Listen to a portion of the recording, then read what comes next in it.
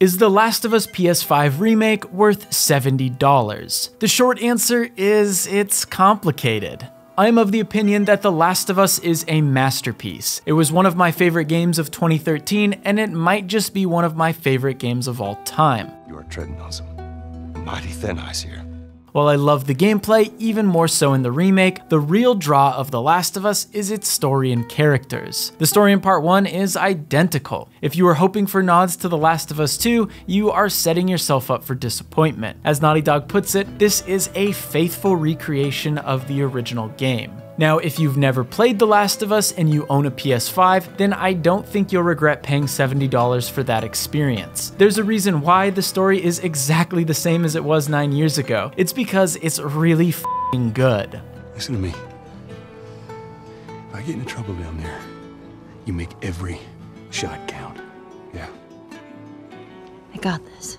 However, and this is a big however, you can technically play The Last of Us Remastered on your PS5 right now for no extra cost if you're a PlayStation Plus subscriber. It's an inferior version, but if you want to experience the story without a $70 buy-in, this is probably the way to go. The visuals won't look as sharp and the combat won't be as refined, but it's still a brilliant game. Now, what if you've already played The Last of Us? The meat of this remake are visual and performance enhancements, an impressive suite of accessibility options, and a bunch of quality of life improvements. Basically, it looks better, runs smoother, and plays tighter. Let's start with the visuals.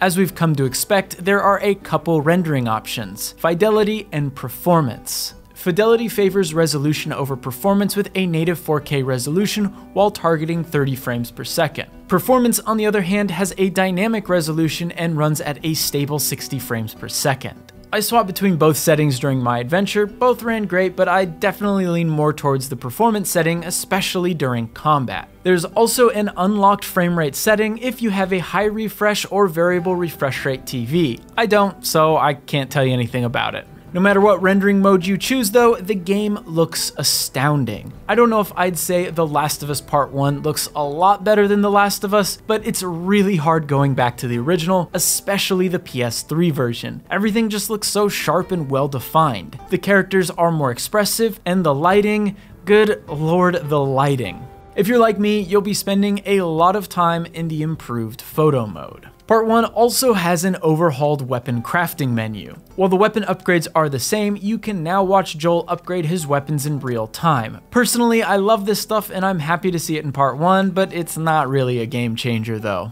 The more noticeable change to the presentation is the improved audio and sound design.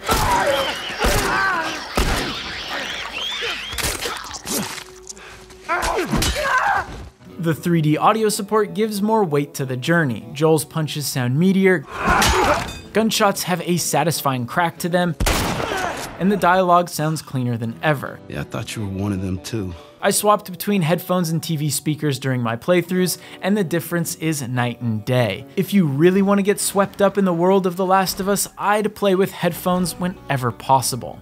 The game feels a lot better as well. The aiming is responsive, the character animations look and feel more fluid, and the haptic feedback in the triggers makes weapons feel a bit weightier. Some combat encounters have also been tweaked, most notably are the bloater fights. The glowing bulges on the bloater skin are gone. Like in The Last of Us Part 2, this means you don't have to be as precise when you fight them, just shoot them a lot or burn them and they'll die eventually. Unfortunately, a lot of the gameplay mechanics from The Last of Us Part 2 didn't make it into Part 1. The ability to go prone and jump are the obvious ones. It makes sense given The Last of Us's environments weren't designed with a crawling and jumping Joel in mind, but since this has been marketed as a remake, I was kinda hoping we'd see this in Part 1.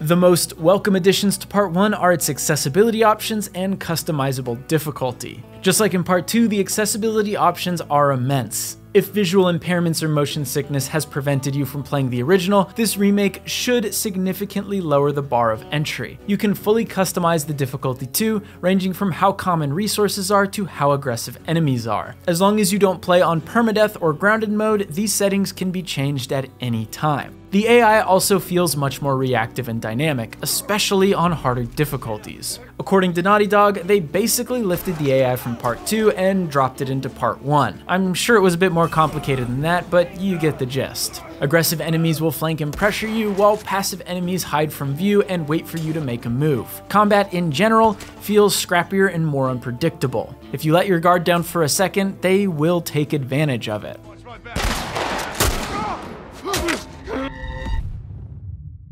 Once you've completed the game, there are a bunch of unlockable extras that include concept art, behind the scenes videos, character skins, and gameplay modifiers like mirror mode, and my personal favorite, explosive arrows.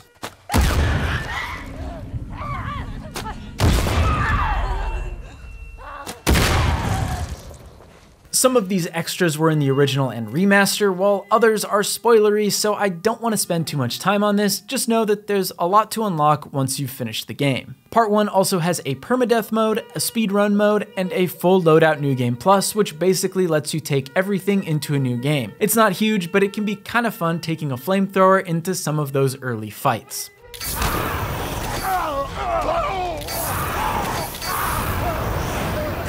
The Last of Us Part 1 also makes it a bit easier to hunt down trophies. It tracks all the collectibles in each chapter, and specific encounters can be reloaded with ease. The save system is still a bit weird though. If you load into a chapter from a completed save, it will create a new save. Once you've picked up the missing collectibles and returned to the menu, it defaults to the save that you just created, and that save isn't considered complete. This means that you really need to keep track of all your completed autosaves if you plan on jumping into different chapters.